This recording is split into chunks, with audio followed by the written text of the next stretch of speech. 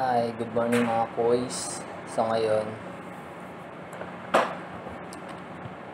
turuan ko kayo kung paano ah, paliitin yung mas.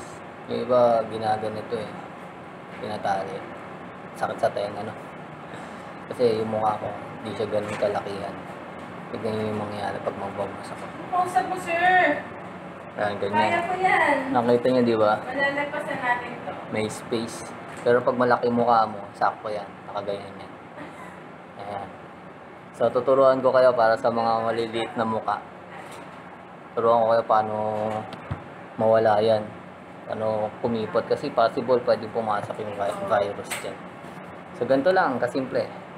So, bago nyo, para lumiit yan, ipipit nyo sa damit, sa mukha nyo. Ganyan. Ito yan, nakaganyan na, di ba? Tapos, kukuha kayo ng stapler. Yan. May name ko pala yan. Para di mawala. So, dito kasi sa office, ano eh, kakanda wala ng mga gamit. So, yan, na-fit na. Tatanggalin nyo ngayon. Ganyan.